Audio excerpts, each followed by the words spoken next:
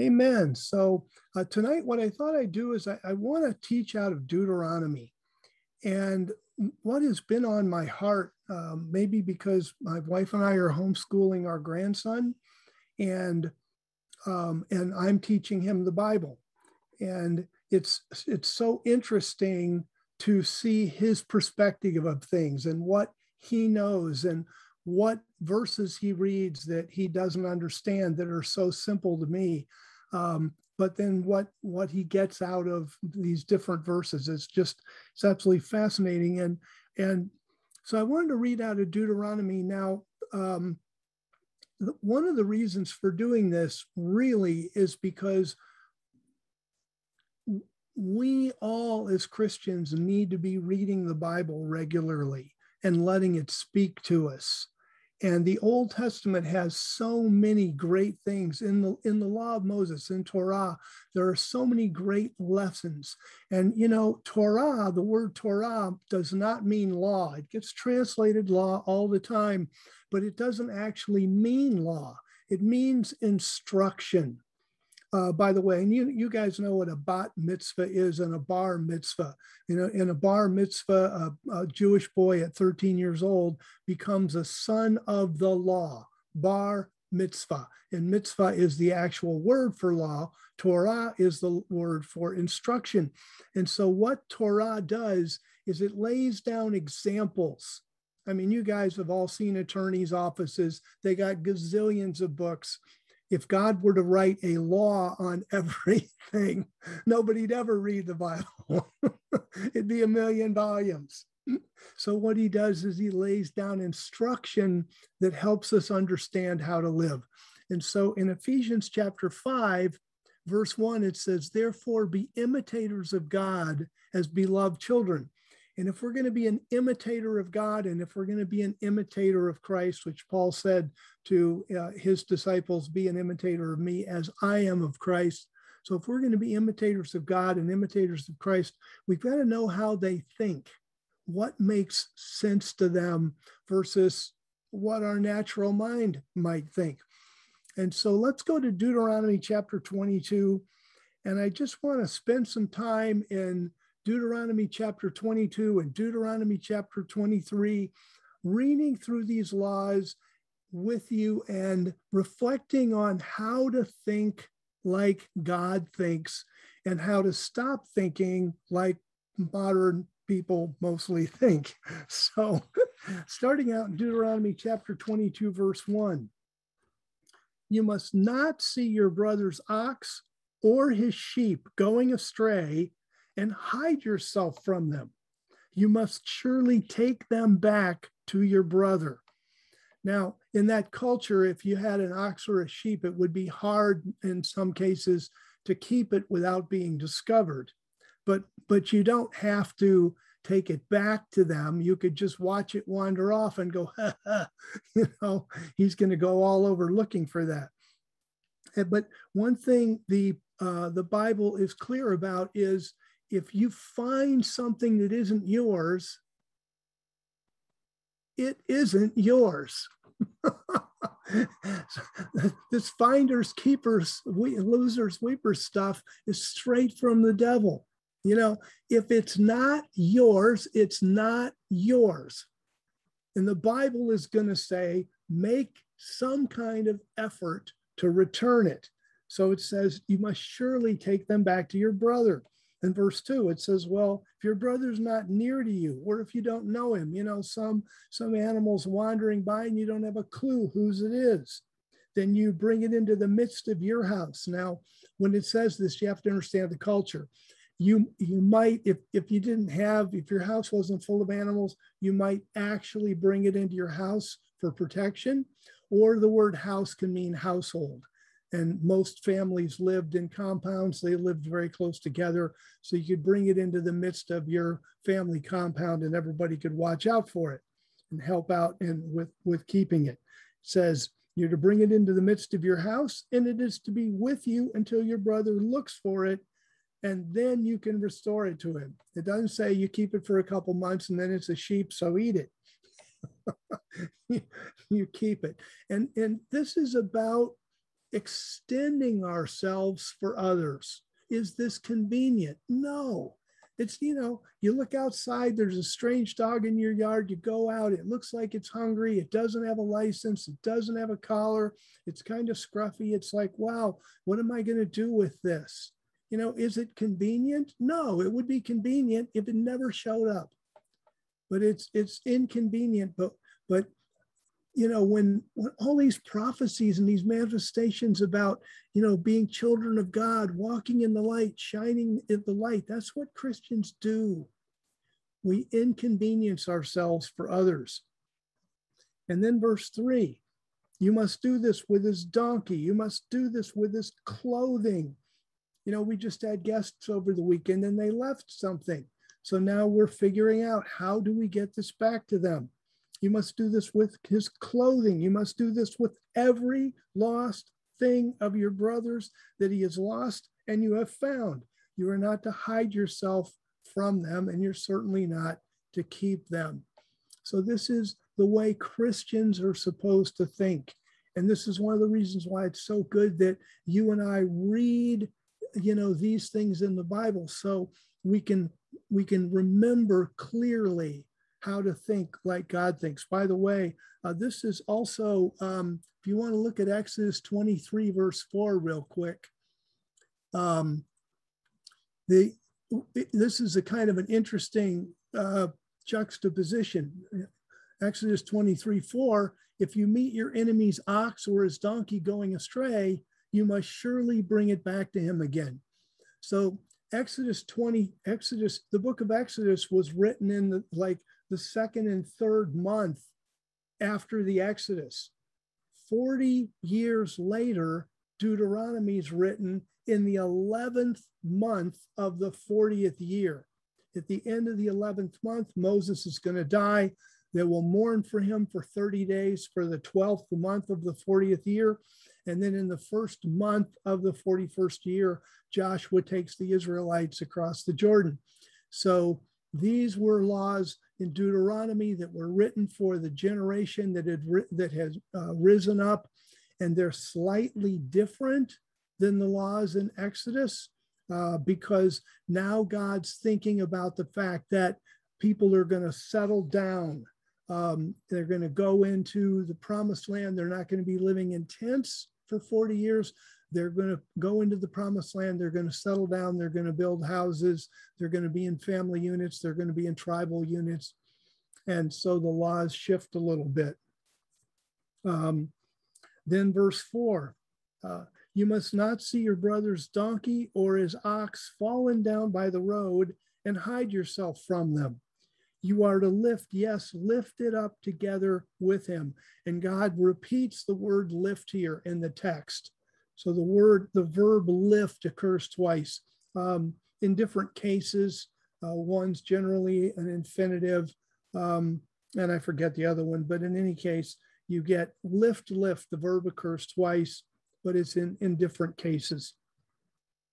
And uh, this, this also occurs if you're still in Exodus 23, or you can get back quick enough, uh, look at Exodus uh, 23, verse 5 very, very similar to what we're reading here in Deuteronomy. If you see the donkey of one who hates you fallen down under his burden, do not leave him. You must surely help him with this, with it. And again, this isn't convenient. And one of the things we've got to see here, okay, God, what are you asking us to do? You're asking us to think of our fellow man as better than we are or equal with us and and we're to we're to inconvenience ourselves to help people. And that's part of how we make our light shine. This is part of the reason why israel was supposed to be attractive to the pagans who could then join into the ranks of israel. Um, uh, deuteronomy 22 5 there is not to be a man's things upon a woman nor is a man to put on a woman's clothing forever uh, for whoever does these things is an abomination to Yahweh your God, because in Genesis 5, God created them male and female, and the stability and the safety and this and the future of the society was a strong family.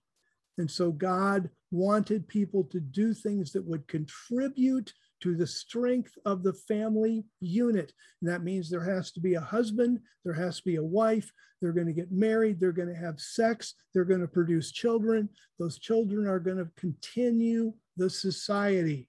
And so God speaks in the scripture quite a bit about things that would attack the family unit. And this is one of them. Now we go to verse six. And again, what we're going to see in verse six is the kindness of God, the holiness of God, the reason that the people of God should stand head and shoulders above the pagans around them and be attractive to men and women in those pagan societies who are frankly tired of the cruelty of the pagan world. And so in verse six, it says, if you happen to come across a bird's nest in any tree or on the ground as you travel on the road, and it has young ones or eggs, and the mother is sitting on the young or on the eggs. You must not take the mother with the young.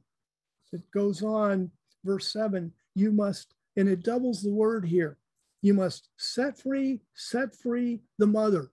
And that's not a typo. The Hebrew text actually takes the same word, the exact same word, and doubles it for emphasis because why would why would god do that? Because the natural tendency people are always hungry people always want food. Wow i get a bird and the babies. That how cool is that? God says no set free set free the mother. Why? Because what we know about birds today is most of the time if the mother is released you know um, animals don't mourn like people do. And so most of the time that the if if you let the mother go it may flutter around for a day or so but eventually it'll simply let go. And if it's early enough in the season it will build a new nest and lay new eggs and the generations of birds will continue. So he says verse 7 you must set free set free the mother but the young you may take to yourself and of course then you'd eat those. Uh, do this so that it will be well with you and that you may prolong your days. And if the animals are doing well, that helps prolong uh, the, the, the whole uh, system, the whole ecosystem that God has set up. Plus, you prolong your days because you are kind. And, and kind and loving people you know are are not as anxious they're not as worried they're, they don't get as upset they don't have some of the health problems that worry warts do and so you prolong your days. Now, verse 8. Now, God didn't say anything about this in Exodus because in Exodus, everybody's living in a tent. but here, the people are going to build houses in the promised land, and those houses are going to have flat roofs. And so he says in verse 8 when you build a new house, then you are to make a railing from your roof so that you do not bring blood guilt on your house if anyone falls from there.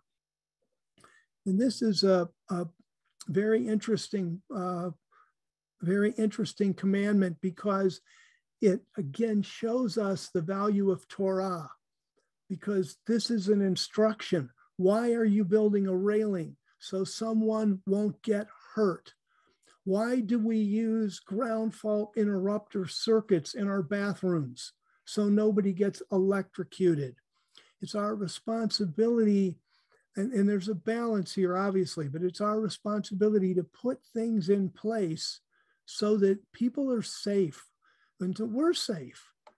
Um, and so this is one example of a building code. So people that say oh you know i ought to be able to do anything i want with my property. God doesn't think so god thinks it's our responsibility to make our property safe and had the robber barons of the late 1800s and early 1900s uh, thought about this, their factories would have been a lot safer. One of the, the real shames of the early American Industrial Revolution is that so many of the factories and so many of the jobs were so unsafe. And granted, there can be regulations that overdo things, but it is the responsibility that we have to make sure people are safe. And then uh, verse 9 you are not to sow your vineyard with two kinds of seeds, or the entire yield will be forfeited as holy. both the seed that you have sown and the increase of the vineyard. And God here uh, created the different species and genuses.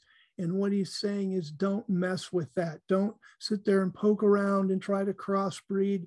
And today, that, you know, people playing God, and we're going to do a better job than God did with all of his creation. And we, we, we've gone way beyond just crossbreeding now. We're doing all kinds of gene splicing and all kinds of things that we shouldn't be doing but God says, look, if you just leave my creation alone, it's the best it's going to be. If you mess with it, it's not going to get any better. Uh, verse 10 do not plow with an ox and a donkey together. Um, this is not only about kind of maintaining God's order of things, it's also about kindness, because typically uh, in the biblical world, the donkey would be taller than the ox, and the ox would pull harder than the donkey. And the result would be that the yoke would hurt both animals. Um, where if you have two animals that are that are equally yoked, and of course you're familiar with that term even from Corinthians, you know, do not be unequally yoked. Why? Because it hurts both parties.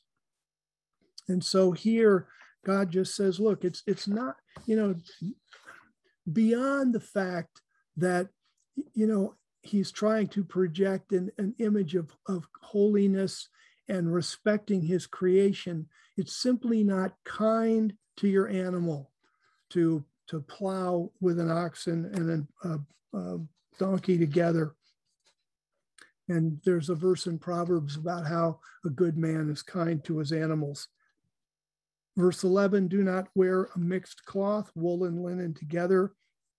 I've never been able to find any uh, any kind of writing on this is why that would be other than it just simply God is saying, look, I've got a created order of things and I'd like that to be maintained. Um, verse 12, you are to make yourselves tassels on the four corners of your cloak with which to cover yourselves. Now, your cloak obviously doesn't have four corners. you know, it's usually just this round thing that goes around your body, your outer garment. Uh, and so, what he's talking about, your left front, your right front, your left back, your right, your right back, and those would be the four corners. Corners, and you're supposed to put tassels on those corners. So this is really uh, expounded more in Numbers chapter 15. So let's go there. Um, Numbers chapter 15. And we're going to uh, verse 37. And it says, Yahweh spoke to Moses, saying, Speak to the children of Israel and tell them they are to make themselves tassels on the borders of their garment throughout their generations. And that's important. These tassels were supposed to be on the, the outer garment of the Jewish people uh, through their generations and that they put on the tassel of each border a cord of blue. And if you've ever seen the Jewish prayer shawls, the prayer shawls have Indian tassels. They're white tassels, but they have a cord of blue in them. Where that comes from is what between the revolt of the Roman revolt of 70 AD and the Bar Kokhba revolt of 135 AD, the Romans had had quite enough with the Jews. They were just fed up with the Jews. They were over the Jews, done with them. And so they forbid a lot of the outward practice of Judaism. For a while, they tried to forbid circumcision, for example, but they also forbid the wearing of tassels, which told everybody that's a Jew. And so, uh, in the tassel is called the tzitzit uh, in the Hebrew text and the tzitzit were forbidden. So what the Jews did was they took the tassels off of their robes. They took the four tassels off of their robes. They put the tassels on a shawl and wore it underneath their clothes so that it couldn't be seen. So they got to wear the tassels, but they couldn't be outwardly seen in the Roman world at that time. The amazing thing to me is that when the laws were relaxed and the Jews could go back to wearing the tassels, they never did, uh, but they should have. And so today, the Jewish outerwear doesn't have tassels, but the prayer shawls, shawls still do. So in Numbers chapter uh, 15, verse 37, they are to make themselves tassels on their garments, and that they put a tassel on each border a cord of blue. And it will be to you for a tassel that you can see, and then remember all the commandments of Yahweh and do them so that you do not seek after your own heart and your own eyes, in order that you may remember and do all my commandments and be holy to your God. And so here are tassels that people had on their garment, and the idea was they were going to use that tassel to remember God. And a lot of people today will do something similar. They will wear um, they will wear a cross. I wear an anchor uh, underneath my shirt. Um, and that anchor uh, reminds me of the hope. And there's a number of times, often when, you know, if I'm particularly upset by a news story or something like that, and the world seems to be going down the tubes in a handbasket, then I can reach in and, and I just hold the my anchor and thank God for the hope. you know, be faithful now, you know, the short affliction, you know, there's a, a, a, greater weight in glory, that kind of thing. And so this, this anchor helps me. If you have a cross or something, it may help you. The Jews had their tassels so that they would see them on themselves and on each other and remember the law. And the rest of chapter 22 is all about sexual sin. And I really don't want to get derailed on that. Um, so, what I'd like to do is go right to Deuteronomy chapter 23. Um, it's not it's not a bad thing to read all the, the laws about sexual practices because sexual purity can be hard to come by in today's world. And it's good to know, you know, what God is commanding about it. Um, but it's just that it's it's many, many verses and the explanations get pretty involved. And so um, I thought for this particular teaching, we'd simply move on uh, with, uh, with Deuteronomy chapter 23. So in Deuteronomy chapter 23, verse 1, it says, He who has his testicles crushed or his male organ cut off, you know, his penis cut off, may not enter into the assembly of Yahweh. Now, what does that mean? First of all, what's the assembly of Yahweh? In the Old Testament times, the assembly of Yahweh were the men of Israel who were accepted as full Jewish members of the Jewish community, and thus they could vote in matters that came up before any town or any group of elders or any issue. If you remember in Numbers chapter 11, well, let's just go there. Let's just go to Numbers chapter 11 because this is a good example. Because some people say, well, you know, they didn't vote in the Bible, so I'm not going to vote. They absolutely voted in the Bible. They voted in the Old Testament and they voted in the New Testament. So, what's happening in Numbers chapter 11 is the people are complaining, and Moses in verse 10 hears the people weeping, and he goes to God and he says, What? Did I father all these people? You've got to be kidding me. And, and, uh, so he says, you know, if you help me out or kill me now, basically, verse 15. So we go to verse 16. So Yahweh says to Moses, Gather to me 70 men of the elders of Israel who you know to be the elders of the people and officers over them, and bring them to the tent of meeting that they may stand there with you. So notice that God didn't say, okay, Moses, here's a list of 70 names. He said, Moses, you go out and find 70 people. And then Moses would go and ask the people that were close to him, and they would ask the people that were close to them, and where are we going to find 70 people who are qualified to do this? And those basically, those 70 people were elected, if you will. Same thing with the seven men who helped with the distribution of goods, among whom Stephen was one of them in Acts chapter 6.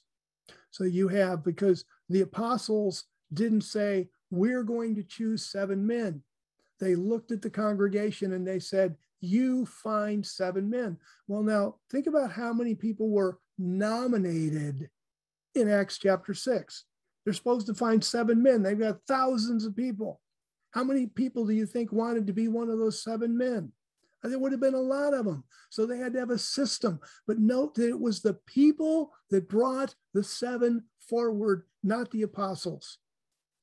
And so there was, it, and so it's, you know, we don't really think of them have as having free elections, but in many cases they voted for or threw their lot in for who would be over them. And this becomes important because here this verse says if a man's had his testicles crushed or his penis cut off, he can't be a voting member. And why is that? Because a voting member has to care about the future more than themselves. Especially me at my age, I'm much more concerned about the world for Sam, Sierra, Carly, and their children, my grandchildren, more than I am about me. You know, for Pete's sake, I, you know, and frankly, people have no business voting if all they're concerned about is them.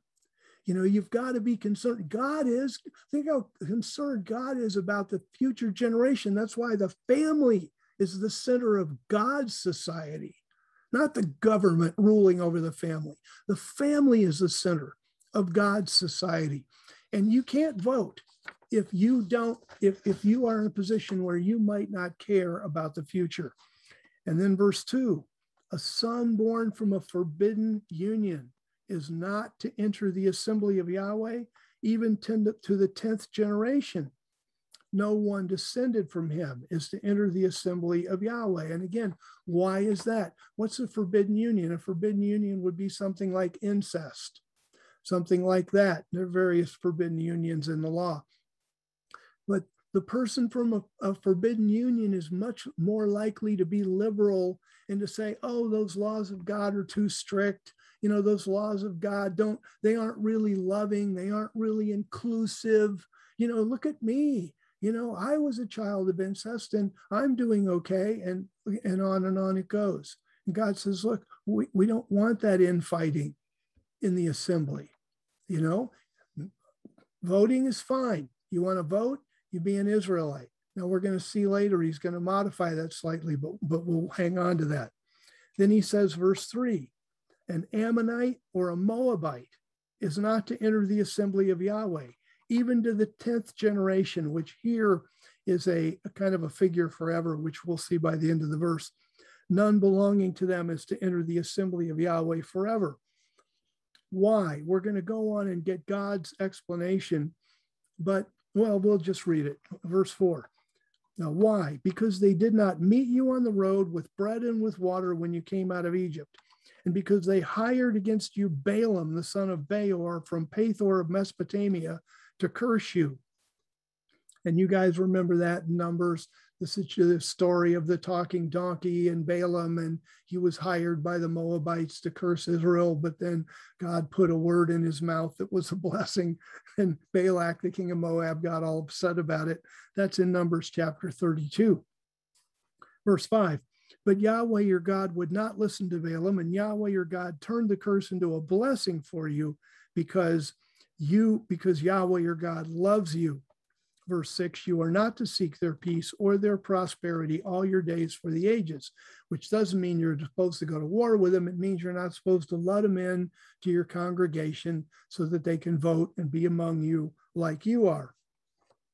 So now, again what's going on there? You know that uh, the feuds the blood feuds in the middle in the middle east go on sometimes generation after generation after generation.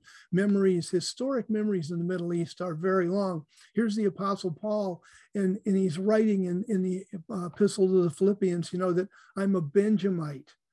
Um, you know you're going to be kidding me benjamin? You know benjamin was like 1500 years before and yet his family remembered for 1500 years. Now remember you're descended from benjamin you know benjamin son of my right hand you know the great blessing of, of, of jacob you know and so these historic memories are long. And because of that if you let a moabite or an ammonite into your voting membership even if they have a facade of oh i love israel and i care about israel you know, some of those ancient uh, memories may come back and they may end up stabbing you in, in the back. So God says, you know, don't let them into your congregation. But then verse, look at verse seven. This is different. You are not to abhor an Edomite, for he is your brother. Because remember, you have Jacob and Esau. And Jacob and Esau were, were brothers, and the Edomites didn't treat Israel badly when they came out of Egypt. You are not to abhor an Edomite, for he is your brother. And by the way, you're not to abhor an Egyptian. Really? Why? Well, you lived as a foreigner in his land. You know what it's like. So then verse 8 says, The sons of the third generation who are born to them may enter into the assembly of, of the Lord. So the first generation Edomite can't, the second generation Edomite can't, but the third generation of Edomite can become a, a Jew. He can become a proselyte and become a Jew. Let's go to Exodus, please, chapter 12. Exodus chapter 12. And this is one of the reasons, by the way, that we need to be reading the whole law because so much of the law is kind of scattered. Sometimes, you know, when I'm particularly frustrated, I complain to God and say, couldn't you have like taken all of the things on one subject and put it in one place? You know, how come it gets to be so scattered everywhere? But Exodus chapter 12, verse 48, very, very important verse for where we're going with this, um, says, there it is, when a foreigner resides with you, and wants to keep the Passover to Yahweh, all his males must be circumcised, and then he may come near and keep it, and he will be like one who is born in the land. But no uncircumcised person is to eat of it. So these Egyptians and the Edomites in the third generation, they would get circumcised, they would be able to eat the Passover, they would be able to vote in the assembly of the Jews. They would be they would literally be pulled in to the Jewish nation. And I think, you know, that shows God's heart. This is a very delicate section in the sense that it's tough to exclude some people and include others. But bottom line is that's the way life works. Some people are safe and some people aren't. And it's valuable when thinking about heck, having a family, who you invite over to your house, running a business, and who you hire and who you don't hire, and, and that kind of thing. I mean, some people are just thorns in the flesh, and they're better off being excluded.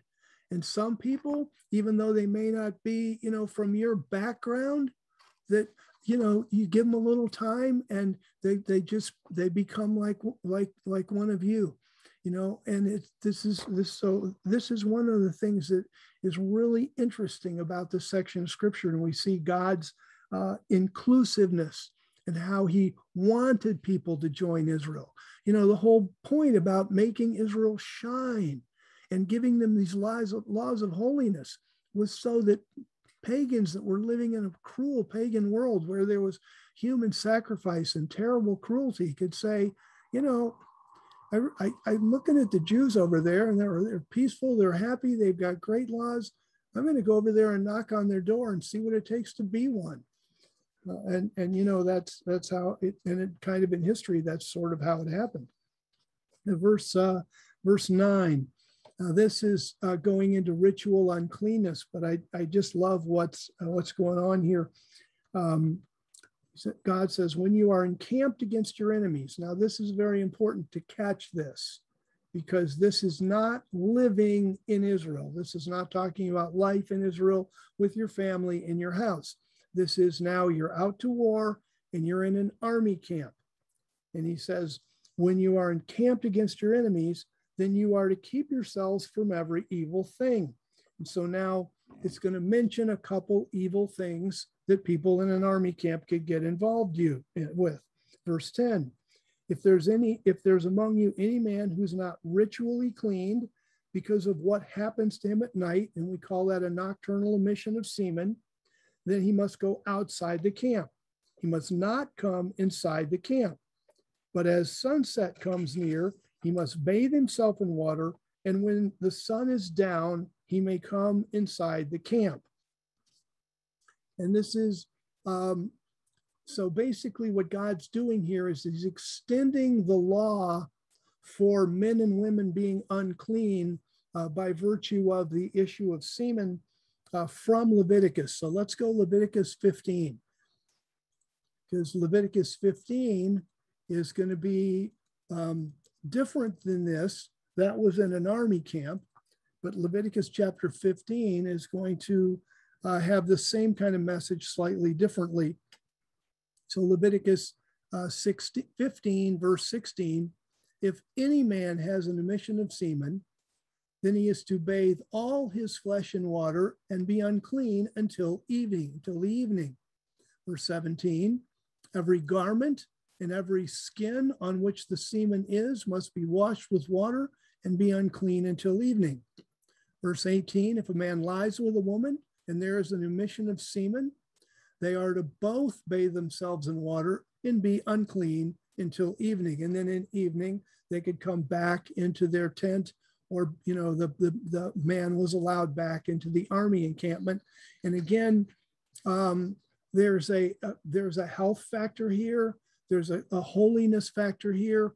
And there's there's also attributing to semen. This is the the power of of progeny so god is handling this very carefully uh, elevating, if you will, and it's if you want to call having to be unclean, elevating yourself in status. But basically, what he's doing is he's saying, you know, this semen stuff is serious business uh, because it it is really the man and the woman getting together, the emission of semen. That's the the start of the family unit. So God wants this uh, treated in a special way so that it gets special attention.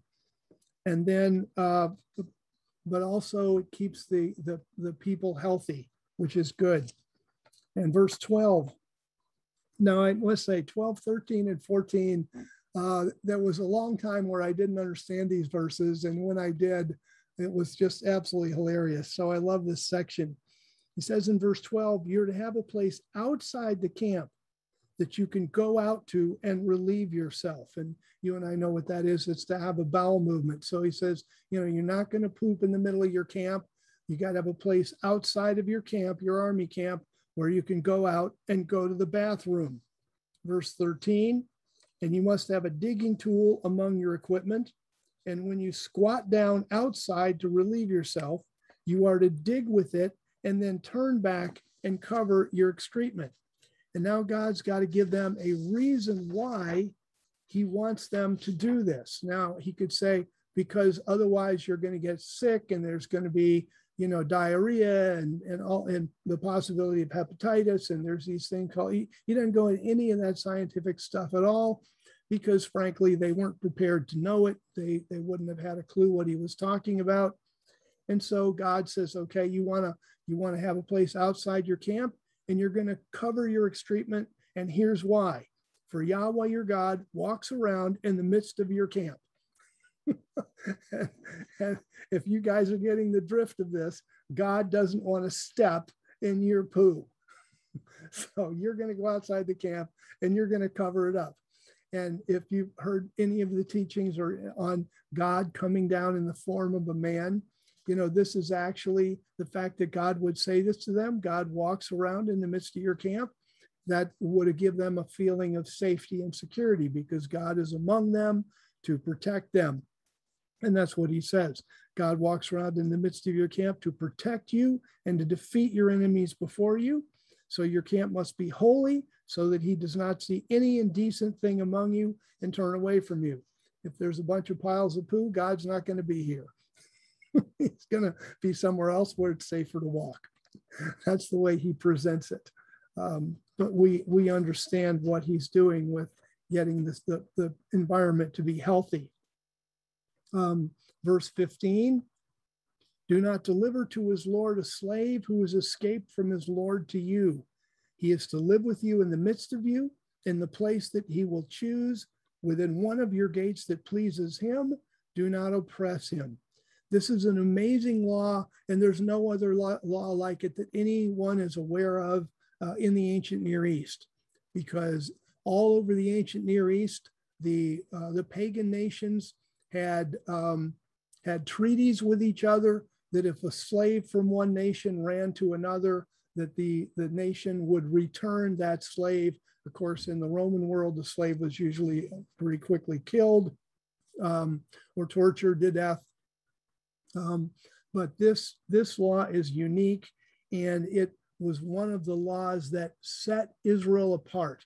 That if there was a slave that was being so badly treated, he, he risked running away from his master and the household that he was connected with, and he made it to Israel, then Israel was to take him in and shelter him and not return him to the nation that abused him. And this is, is really unique and one of the reasons that people felt comfortable coming to Israel in the first place.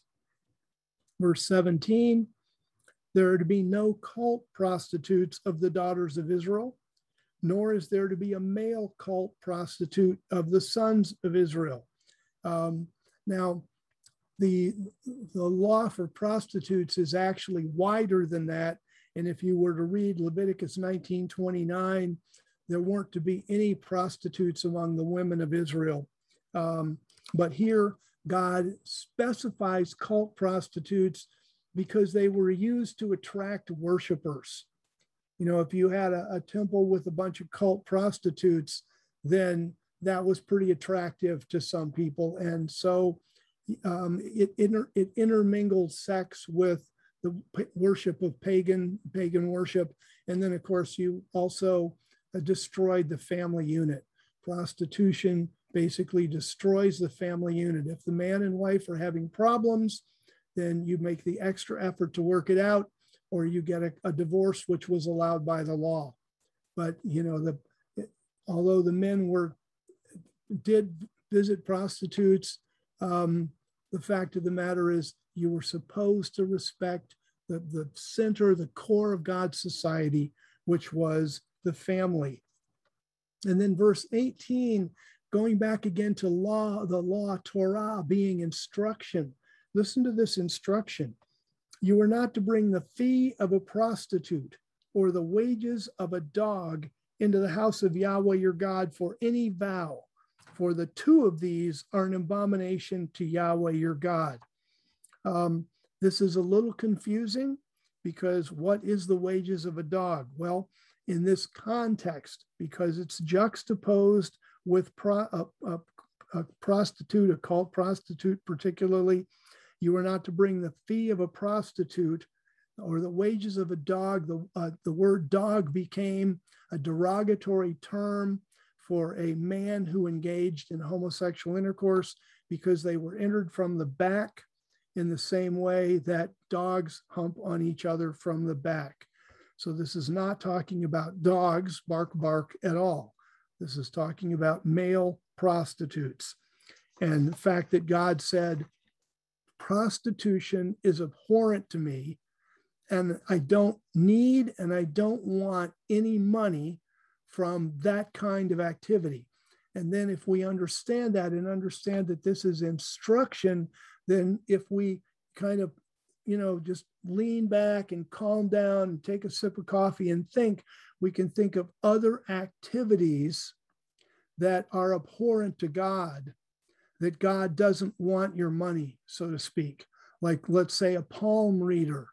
You know, and here's a palm reader, and they make a bunch of money uh, reading people reading palms. You know, and you're you're enlisting demonic forces to find information about people so you can read their palms so you can get that money. God doesn't want that money. And this is an instruction that lets you know there's certain money that God doesn't want, certain things you could bring God that he doesn't want.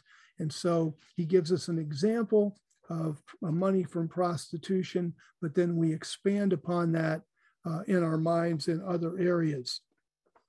Um, verse 19 you are not to charge interest to your brother, interest on money that you lend, interest on food, or interest on anything that can be lent on interest. To a foreigner, you may charge interest, but to your brother, you must not charge interest, that Yahweh your God may bless you in all that you put your hand to, to in the land where you are going in to possess it. Now, historically, um, by the way, this um, this verse is also one of those verses that's also repeated in a slightly different way in Exodus. If you want to scribble down a verse, it's Exodus 22, 25. By the way, I have these verses in the commentary on these different uh, verses. So if you say, gosh, what did John say about all that? You can go to Deuteronomy 22 and Deuteronomy 23 and read through the commentary and you'll you'll pick up both the commentary and these verses. But um, so Exodus 22, 25, Leviticus chapter 25, uh, verse 35 to 38 have uh, verses about not charging interest. Now, when it says here, you are not to charge interest to your brother, it's well known among the scholars and even among uh, the ministers who teach this that this is not talking about the, the brother uh, who was in your family. Like my brother is Tom, he's the son of my mother and father, just like I am. This is talking about your brother Israelite, your fellow countryman the one who is like you.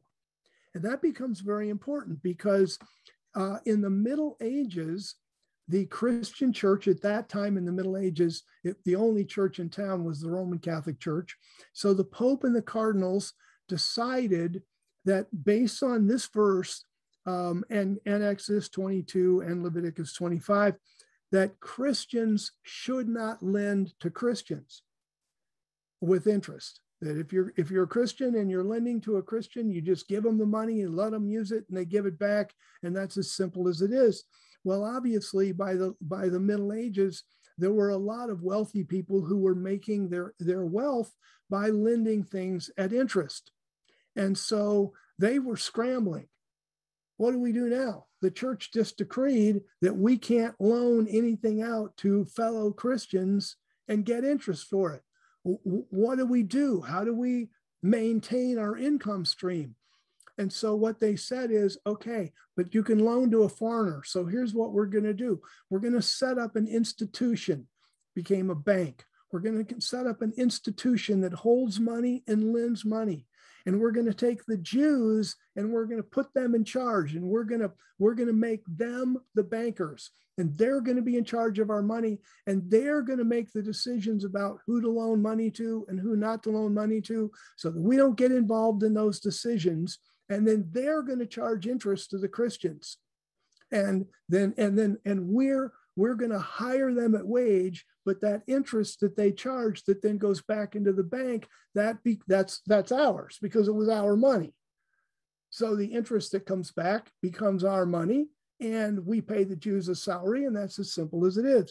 And so that started in the middle ages and lasted for hundreds and hundreds of years. And we wonder well how did the jews get to be so entwined with the banking? Well, for hundreds of years, they were the only ones allowed to be bankers. And so they were all bankers and they were all money lenders and they were all brokers of various kinds. And that's how the Jews got that position and why the Jews today, still in many cases, are involved with the banking industry. So, good history lesson, very interesting. Uh, verse 21 When you vow vow to Yahweh your God, you're not to delay paying it for Yahweh will God will God will require, yes, require it of you. And again, here the verb require is doubled uh, in different uh, cases in the Hebrew text for emphasis. So if uh, and and it will be counted as a sin to you. So if you if you say a vow and you can't keep it, or you rather you won't keep it, it's all of a sudden it becomes inconvenient to keep or whatever, you know, keep it anyway.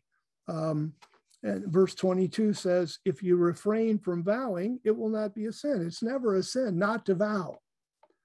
But if you're going to make a vow, then you keep it. By the way, Ecclesiastes chapter 4 and 5 say the same thing here.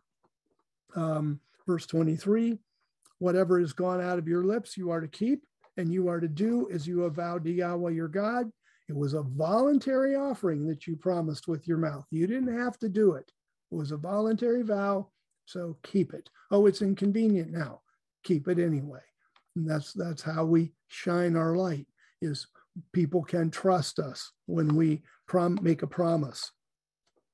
Verse 24, when you come into your neighbor's vineyard, and again, neighbor here doesn't have to be like your next door neighbor, it's a, a fellow Israelite. When you come into your neighbor's vineyard, then you may eat of grapes until your soul is satisfied. But you must not put any in your bag. Verse 25 is similar when you come into your neighbor's standing grain. Then you may pluck the ears with your hand, but you must not use a sickle on your neighbor's standing grain. So this is mainly designed for traveling people, uh, like the apostles and Jesus were walking through the grain fields. They were hungry. They took a few handfuls of grain. And you could see where a, a farmer might be a little annoyed. You know, uh, if they, you live, if a farmer lived close to a major trade route and lots of people were walking by, and they would just kind of wander through his vineyard and you know each one would take a couple handfuls of grapes and walk on um, you can see where the farmer might get annoyed. But basically what what god is saying here is that you have to have a level of trust for me that if you're if if you are obedient to my word and are concerned about travelers who may not have anything to eat they may be hungry and, and you're willing to give up some of your crops, some of your effort to sustain them, to help them, then I, God, will bless you. And that's really the way we've got to be with our stuff and with our money uh, and with our time, that we're willing to help others, understanding that God will bless us back. Uh, there's a verse in Proverbs the one who lends, the one who gives to the poor, lends to the Lord. So when you give to the poor, then it's like lending to Yahweh, and He will pay his debt back. Absolutely. So these are some of the laws and regulations uh, just in these two chapters in Deuteronomy. And they help us think straight about God and Christ and life so that we can shine as lights. And it's a great reason that we want to be reading the law and remembering these things because we can also then help fellow members in our society who haven't ever read this or don't know it or don't understand it, and they're living in a way that's contra to the way that God has laid out in His Word. So, thank you for your attention tonight. It's been a blessing to share this with you. Uh, I, I got super blessed doing the, the work behind it, and I hope you got blessed in the teaching. So, God bless you all. Thank you so much for coming.